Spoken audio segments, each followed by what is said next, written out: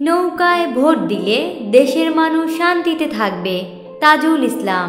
বিগত দশ বছরে আওয়ামী লীগ সরকারের আমলে সারা বাংলাদেশ তথা লাকসাম মনোরগঞ্জে এত উন্নয়ন হয়েছে যা অন্যান্য সরকারের আমলে এরূপ উন্নয়ন ছিল চিন্তা বহির্ভূত।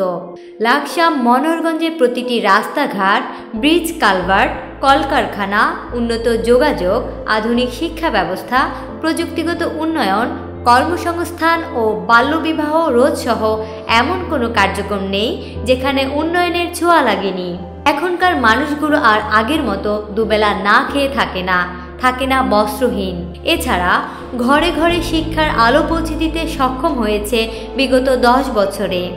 নেই কোনো চুরি, ডাকাতি ও হানাহানির ভয়।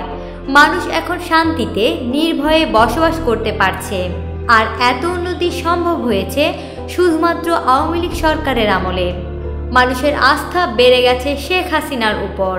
বুঝে গেছে কাকে বিজয়ী করলে দেশ ও দেশের মানুষ শান্তিতে বসবাস করতে পারবে। ডিয়ার ভিউয়ার্স আমাদের ভিডিওতে অবশ্যই লাইক কমেন্ট এবং শেয়ার করবেন। আর নিত্য নতুন আপডেট পেতে সাবস্ক্রাইব করতে ভুলবেন না।